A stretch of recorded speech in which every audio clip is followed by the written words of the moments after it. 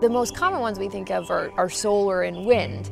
But clean energy is much broader than that. When people experience it, one of the things that's so exciting and so fascinating is just how much ingenuity and creativity and how many possibilities there are. As I look around the environment here, and I'm you know so lucky to get to see something so pristine and perfect, it just reminds me more than ever like we absolutely have the opportunity to do this, and not only the opportunity, but the ability, that idea of possibility and of what things could be. I think the more that people are exposed to that, they will really get that sort of, that feeling of being on the cusp of something very big.